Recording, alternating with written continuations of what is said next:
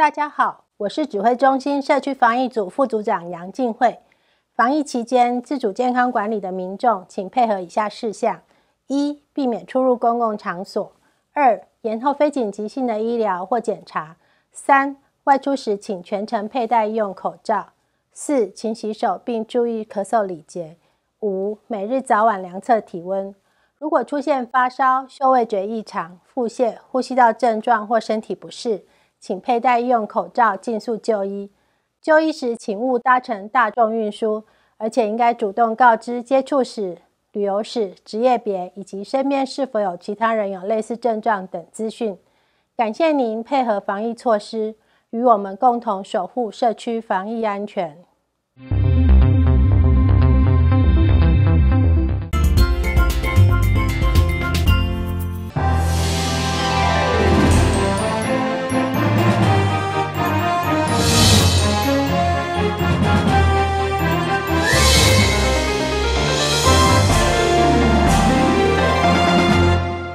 观众朋友，大家好，欢迎收看中嘉新闻，我是蔡小军。新闻一开始呢，要先带你来看农历春节将至，交通部公路总局特别公布春节运输相关措施。基隆地区针对省道及国道容易塞车的路段，分别推出了替代路线。另外，为了要鼓励民众多利用公共运输，春节期间搭乘国道客运都有优惠哦。今年更推出了孝亲专案，银发族搭乘还享有原票价的二五折，欢迎民众多加利用。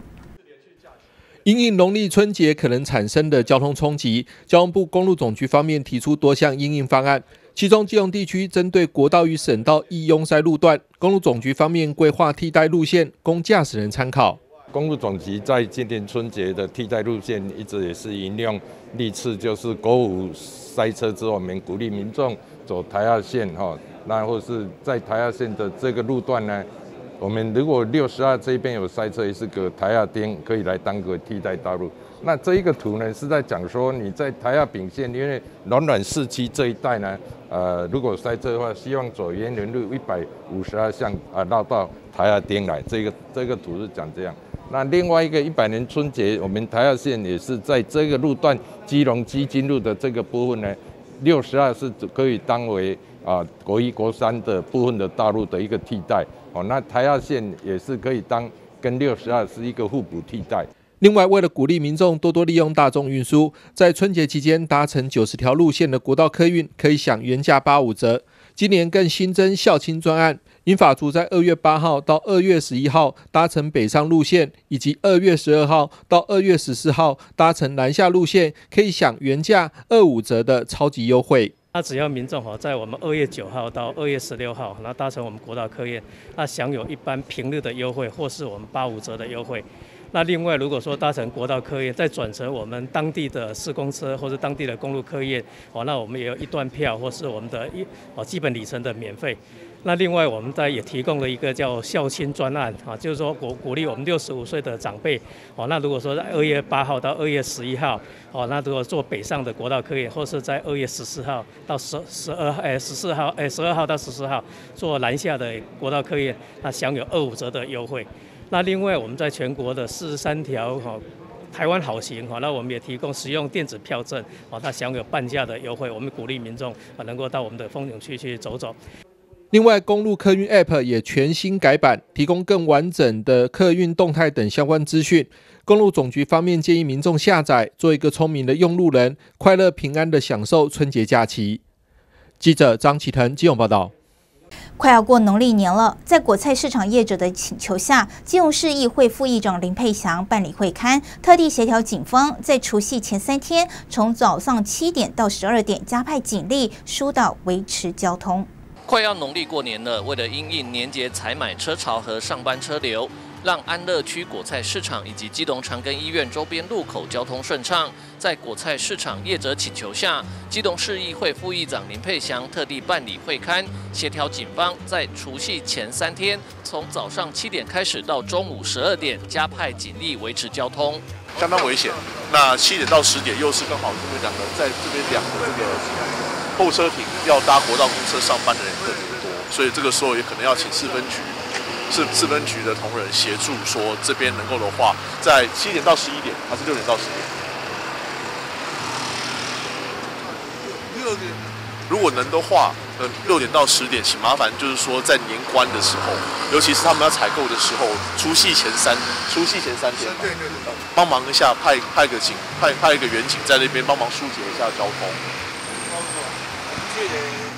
去年我们是固定都有排啦，是八点到十二点。嗯嗯嗯。那这个时段如果再需要往前一点的话，八点太晚了一点。那我们七点好不好？因为我们七点，我们七点这边固定有交交整岗。七点吧，哈，如果太早的话，我们警力怕有时候不好抽掉。七七点是可以的啦，七点到十二点啊，可以可以，好不好？哦，因为最主要就是除夕的前三天了。对，我们哦大大爆炸，那个时候大，都是这个时段，大爆了。三天，包括他们从一直到啊，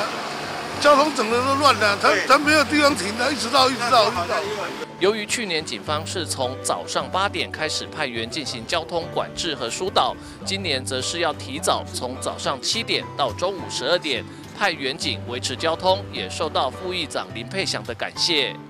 记者吴俊松机动报道。今年的寒流一波波，台亚国际慈善基金会特别捐赠了五十二个小家电给基隆市三十户的弱势家庭，赶在农历年前全数送达，协助这些弱势家庭对抗寒冬，温暖迎牛年。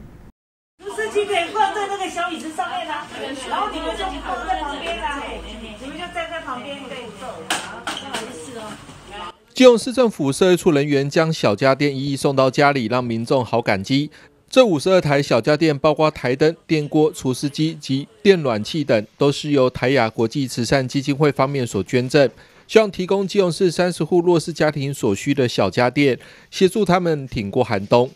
根据他们调查的结果，像类似这些呃弱势家庭需要改善的小家电的还不少，但是呢，市政府没有这一笔预算，因为。公部门的预算总是有限，他也不知道要怎么来解决这问题。他很希望说大家来共同解决。那所以因为有这个合作的因缘之下，促成我们这一次呃台雅基金会跟基隆市政府来办理这个寒冬送小家电的活动。那依据我们社工科、我们社工师这些先进伙伴很认真的调查，很详细的调查这些。家庭所需要的呃品相，所以我们购置了除湿机、呃小家电的电冰箱、电暖器、电磁炉、台灯这些品相，都是依据我们社工伙伴很认真的调查，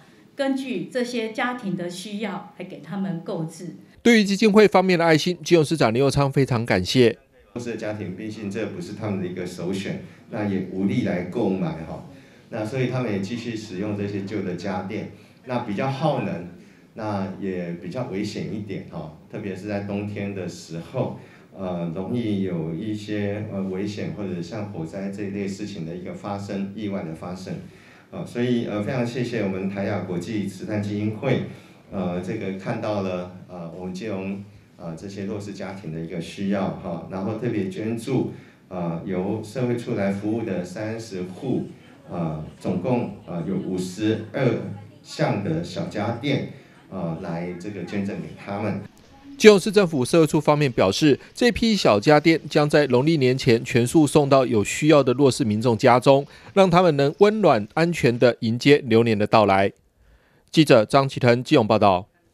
而迎接农历新年，总统府春联红包袋与一元福袋出炉。春联以今年生肖年牛年为主题，书写“扭转乾坤”四个大字，期望摆脱去年疫情的侵扰。一元福袋及红包袋也用牛只设计的图案，讨喜又有吉祥的寓意。有兴趣的民众可以到民进党各县市党部及党公职人员服务处来索取。迎接流年，由总统蔡英文与副总统赖清德共同署名的总统府春联贺词，写的是“扭转乾坤”，象征国人团结对抗疫情，期盼为国家带来平安好运。扭转乾坤，它的含义是因为我们在二零二零哦，去年度过了一个比较多一些呃，不管是疫情啦，或者是呃，在整个二零二零呢，有一些比较重大的变故哦发生，那让我们呃全国的。同胞哈，到国人同胞，大家都觉得说，好像这个过去这一整年的这个高潮迭起啊，甚至是呃变变故比较多，所以呢，我们选择了一个扭转乾坤呢，就是希望说能够让今年哦否极泰来，让每一个国民同胞呢，大家都能够过上好日子。一元福袋与红包袋则都以牛只为图案设计，其中一元福袋以黑色水牛烫金方式，强调坚韧与共生共荣的精神。红包袋的三只金牛也分别有特殊含义。今年红包袋呢，可以说是非常限量。限量这种限量，最主要是因为呢，它红包袋的上面有三只金牛。那这三只金牛哦，分别象征了各个族群哦，所以这三个牛的意象都不一样。那有我们台湾的水牛哈，那也有这个非常勤奋哈，这个呃象征台湾精神的水牛，还有呢，我们的这个黄呃台湾的原生种黄牛的外表哈。还有一个就是呃，平常呢就是都是在呃喂养我们的这个乳牛的形形状啊，所以说我们选择了三种金牛的形式红包袋。为了防疫，今年总统府春联及议员福袋取消现场发放，改由民众到民进党各县市党部及党公职人员服务处索取，数量有限，有兴趣的民众可得把握机会，把平安好运带回家。记者张启腾、金勇报道。接下来呢，要带你来看，其中有一名驾驶精神恍惚，先撞断了监视器，又撞坏了测速照相的杆子，所幸车上三人平安无碍。提醒您哦，开车真的要集中精神，否则就像这位驾驶可能赔大了。灰色的修旅车直接冲上人行道上，撞上路边的铁杆，但仔细一看，他撞到的是价值一百八十七万的一根测速照相机。呃，那个阿妈有抱孙子吧？啊啊！那个门打不开啊，啊我就把他拉一下，啊还好，他阿妈也平安啊，孙子也平安啊。哎，又不会多啦，又不会多。这么一撞，测速照相杆整个歪斜，固定的基座连根拔起。而这起意外发生在基隆市调和街上。日前，一名黄姓男子车上载着一名大人和小孩，却因为男子晃神，直接冲上人行道，先撞断路旁的监视器，再撞上测速照相杆。是因为说自己。哦，一时恍神哈，不小心往那个路边的那个人行道上面开过去哈，然后撞到我们警察局交通队的那个测速照相杆，啊，造成我们的测速照相杆哦有那个倾斜的这样的一个情形发生。而这个路段也时常发生严重车祸，半年前就有一对情侣双仔自撞路灯，酿成一死一伤的意外。警方也是在居民的反映下。加装双向的测速照相机。我们调节，因为它拓宽之后，本来是双向单线嘛，变双双双向双线，然后路会比较笔直一点，所以会有超速的情形发生。哦，于是我们就在呃当地的民众要求之下，在那边设了双向的那个测速照相机，哦，防止那个车祸的发生。所幸这起意外没有酿成任何伤亡，提醒民众，即使路面宽敞。还是要遵守限速，否则像这位驾驶不小心一撞，撞上一百八十七万的测速照相机，恐怕修理费就要赔上不少。记者黄少明基隆报道。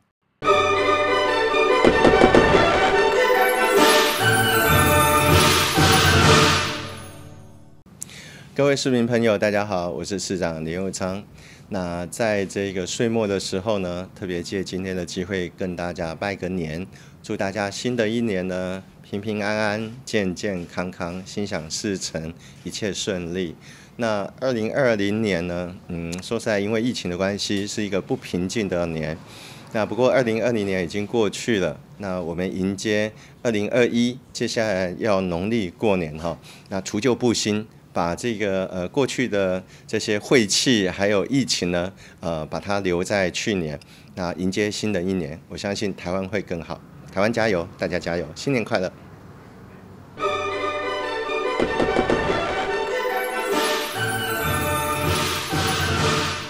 呃，各位吉隆电视台的好朋友，大家好，我是立法委员蔡思应。新的一年要开始了吼，那今年是牛年，那其实我也是属牛，所以在这边要祝福所有吉隆这四名牛年行大运，牛来旺。呃，过去的一年是呃，我们台湾乃至于全世界遇到武汉肺炎灾情的一个一年吼。那许多人的生活也是因此受到了影响，生活步调甚至是工作都因此受到影响。那今年上半年这样的疫情可能会再持续下去吼。那尤其是在春天的季节，其实也是武汉肺炎比较严重的时候，还是要呼吁所有的市民好朋友，呃，在外面记得都要多戴口罩。呃注意安全。那当然，呃，我们希望呃新的一年来讲，呃，所有一切不如意的事情都会过去。好运都会持续的来到哈。那去年在疫情的状况之下，可是台湾的经济成长率仍然创下了世界上数一数二的成绩。那整体来讲，我们也希望这样的经济发展能够持续，让所有呃去年受到疫情影响的、造成工作受到影响的人，在整体经济成长之下，能够找到转换适合他的一个跑道。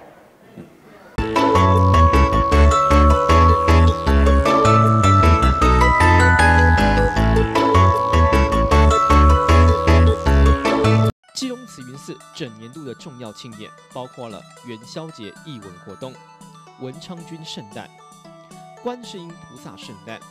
浴佛节及祭孔大典等，无不吸引众多信众前来。慈云寺对于重要庆典、祭祀活动及社会服务，总是不遗余力的认真规划，也因此造就了今日历史悠久、信众众多、香火鼎盛的慈云寺。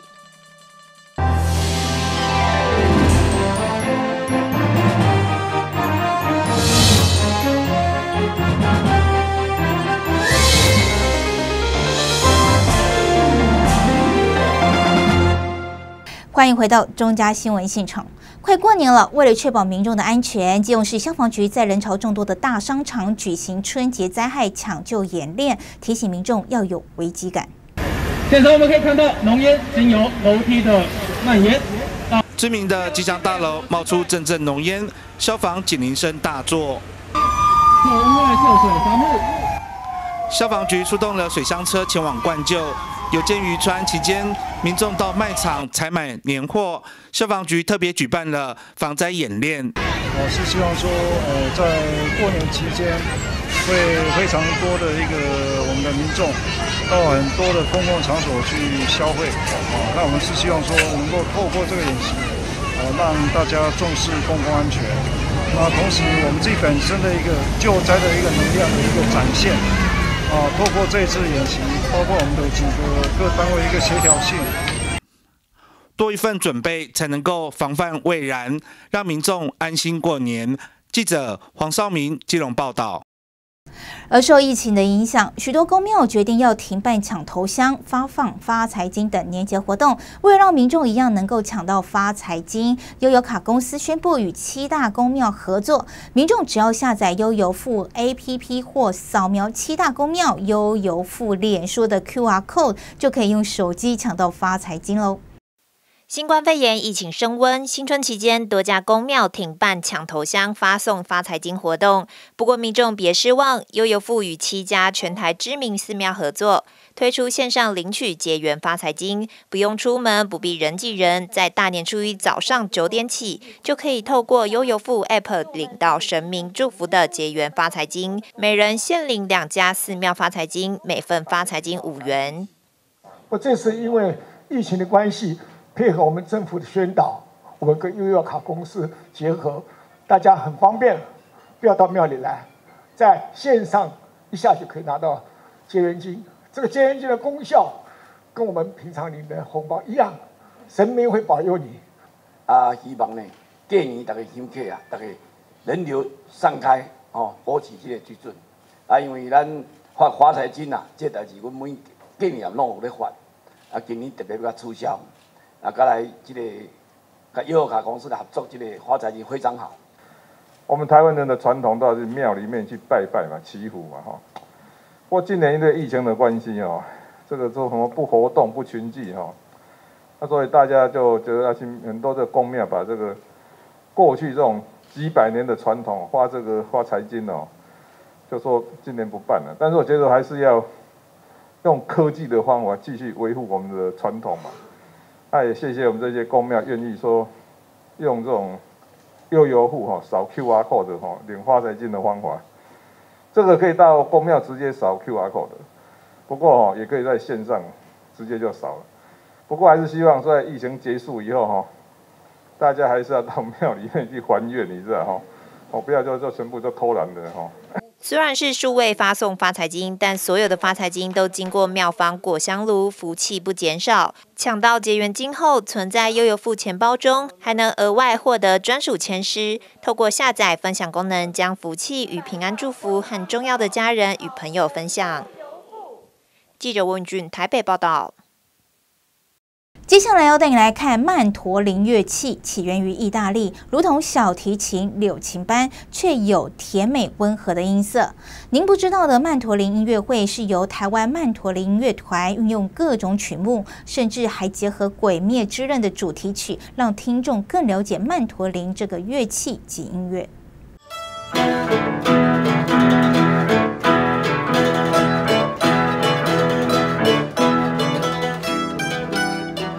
曼陀林的乐音搭配时下最流行的动漫《鬼灭之刃》主题曲，好听又特别。台湾曼陀林乐团将在你不知道的曼陀林音乐会，带领观众用音乐游世界。曲目包括日本动漫、日剧《月薪娇妻》片尾曲、俄罗斯民谣，还有钢琴家郭宗翰创作的《云端飞翔》曲目。那这一场，其实我用到很多。不同乐风的东西，比如说，呃，像我们刚刚弹的《红莲华》，它就是当今呃最热门的。呃，曼陀跟呃弦乐一样是很有张力的，因为它那个轮奏啊，它可以从小声到大声，可以呃制造很大的那个张力，所以我觉得那个效果不会比弦乐团差。很多台湾民众并不知道曼陀林乐器，因为它源自于意大利，在日本发扬光大。看似像柳琴、小提琴，却又有独特的清新音色，双弦的轮调悸动心灵。曼陀林它就声音比较，我觉得比较甜美，比较温和，它比较可能穿透力比较没有像柳琴这么直接这样子，对。那特色其实它主要特色，因为我们是点状的嘛，一弹你弹一个音，它没有办法像小提琴拉弓可以维持很长的长音，所以我们必须来回快速的弹挑，就可以把音整个连起来。对，那你如果只有弹一个音，它就是单音。那你要表现长音，我们这个轮音。这是他的特色，人家就觉得，哎，听到曼陀林噔那个声音，就感觉很很好听那种感觉。对，其实团长陈子涵是主修柳乐琴，因为父亲的奏事令他倍感伤痛，偶然接触到曼陀林，听见青山宗的曼陀林琴声，深深疗愈他。从自学开始到与青山老师学习，陈子涵热爱乐器到也想推广给台湾的朋友听众们。我老师是青山东老师，他弹的那个音色就是很很美很美，就是他高音他不会让你觉得很刺耳，因为有的人他会觉得听一直听高频的东西会受不了，可是老师的声音他就是我我那时候可能就是觉得啊听到就很疗愈，因为我觉得就是可能我爸爸的突然过世的事情，然后我听到慢腿，我就觉得老师的声音很疗愈我，然后我就想激发我想要去学这个乐器。然后刚好那时候又认识了奇美，奇美他们呃曼陀林乐团，那时候刚好他们十周年，然后办乐友会，然后我我在无意间之之下就看到了，然后我去报名，然后其实我那时候还不会曼陀林，我那时候就是呃请一个乐器行的人帮我买一把，就是比较一般的曼陀林，然后我就自己弹弹一首，因为他报名要去参加乐友会都要表演，我就去参加，然后表演。之后，他们就以为我学很久。其实我那时候是自学，就是自己这样随便弹一弹。除了曼陀林，在这场音乐会中，也可以看到同家族的曼陀拉与低音曼陀林一同演奏。副团长广田洋一就形容曼陀林与曼陀拉像是一男一女，声音各有特色。呃，曼陀林は、え、まあ音の高さとあと繊細、音色が繊細で。 えー、細やかな音も出せるし、えー、しっかりした音も出せます。でマンドラは、えー、トランペットのように、えー、堂々としたあ編曲でよく堂々とした役割、えー、あって、まあ、高さ音の高さも低いので、えー、伴奏もできるし、まあ、何でもこなす楽器です。で、まあ、マンドリンはあのーまあ、バイオリンのようにえー、メロディーを奏でることが多いんですけれども、えーまあ、フルートのようにマンドラがメロディーをやってる時はマンドリンは、えー、フルートとかピッコロのように高い音で飾りのように弾くのも適していて、えーまあ、それぞれ向いている役割が違うので、えーまあ、それが編曲の醍醐味というかマンドリンオーケストラの面白いところというか魅力だと思います。台湾曼陀林乐团两千零七年成立，为了在台湾推广这项乐器，邀请了国际知名曼陀林演奏家，每年也都会定期举办音乐会，期盼台湾有更多爱好者加入行列。记者问俊台北报道。 以上就是今天的中嘉新闻，也欢迎您到中嘉新闻的脸书及 YouTube 按赞，就能及时获得最新的在地新闻。另外，我们也与 FN 轻松电台九六点九联合直播，欢迎准时收听。非常感谢您的收看，我是蔡小军，祝您一切平安，我们再会。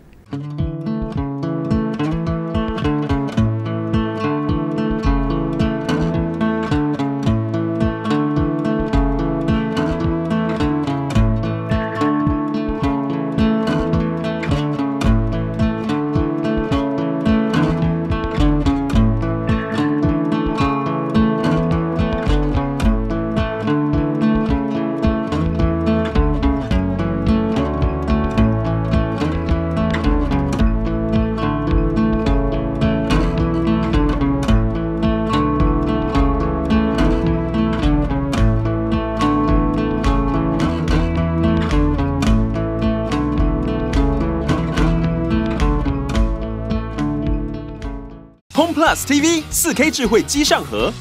数千部强档影剧随你挑，电视轻松看 YouTube，陪你追剧零时差。